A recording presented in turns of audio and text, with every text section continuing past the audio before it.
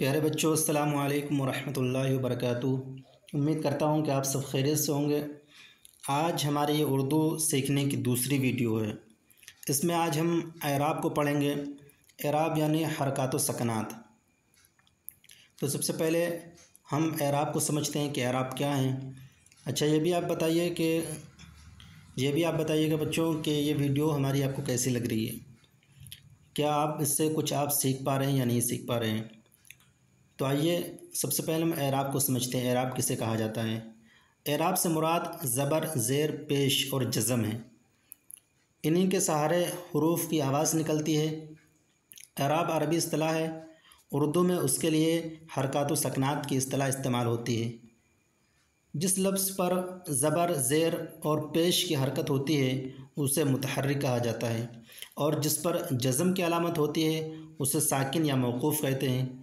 इतनी गुफ्तु एक मरतबा फिर समझ ली जाए हरकत हरकत किसको कहेंगे? ज़बर, ज़ेर, पेश को हरकत कहेंगे। किसको? ज़बर, ज़ेर, पेश। ज़बर, ज़ेर, पेश को हरकत कहेंगे। मुतहरक किसको कहेंगे? वो हर्फ जिस पर ज़बर, ज़ेर, पेश में से कोई हरकत हो।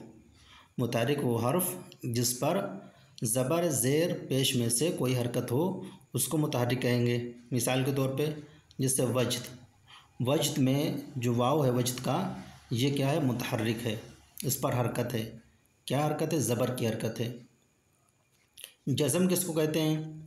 वो निशान जिससे ये मालूम हो कि ये हर्फ मुतहरक नहीं।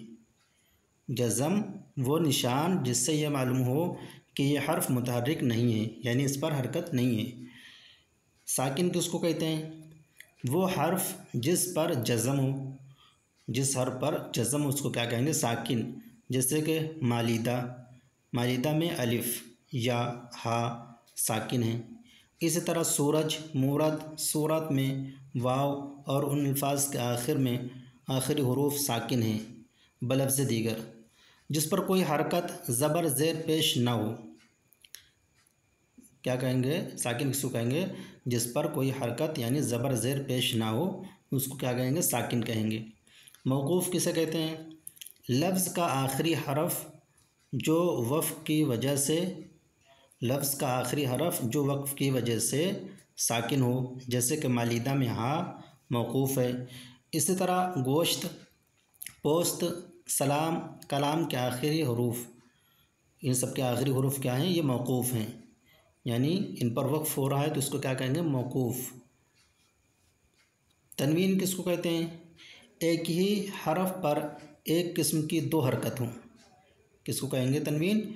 एक ही हरफ पर एक किस्म की दो हरकतें हों। जैसे दो ज़बर, दो ज़ेर, दो पेश। दो ज़बर, दो ज़ेर, दो पेश हों।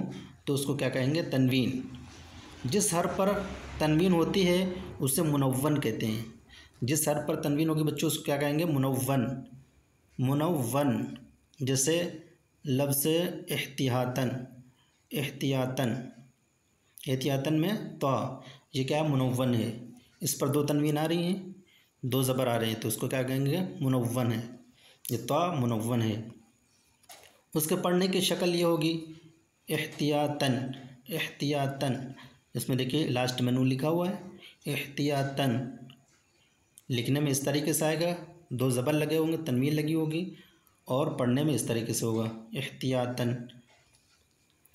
तनवीन सिर्फ़ अरबी अल्फाज में आती है, जिन लफ्ज़ों के आखिर में गोलता, हा की शक्ल में तब्दील होती है, उनमें बहालत तनवीन हा पर दो नुक्ते लगाकर ताकि आवाज़ पैदा कर दी जाती है। जैसे कि वाक़ की तनवीन फ़तहा वाक़ातन वाक़ातन है।